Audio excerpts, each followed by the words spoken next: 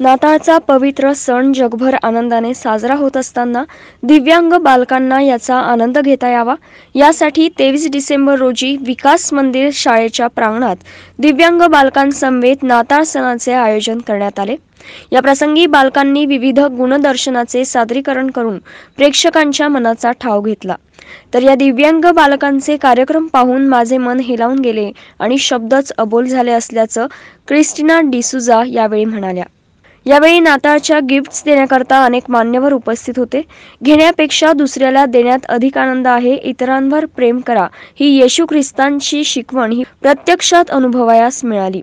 Empower शाळेचे प्राचार्य जॉयसन यांच्या हस्ते गिफ्ट्स देण्यात आले. प्रीती मल आणि त्यांच्या ग्रुपच्या तीस मुलींनी बालकांना चॉकलेट्स व रंगीत टोप्यांचे वाटप केले. तर रुपेश धिवर यांनी नऊ विद्यार्थ्यांना गणवेश वाटप केले. निगम परिवाराने मुलांना ब्लँकेट्स वाटले. याचवेळी मारुख मिस्त्री यांचा वाढदिवस साजरा करून केक व वेफर्सचे देखील वाटप करण्यात आले. या शुभप्रसंगी उज्ज्वला बैसाने आनंद त्रिभुवन निगम परिवार आणि बहुसंख्येने पालक उपस्थित होते. यावेळी सूत्रसंचालन सोनोने सर यांनी तर आभार घोडके यांनी व्यक्त केले.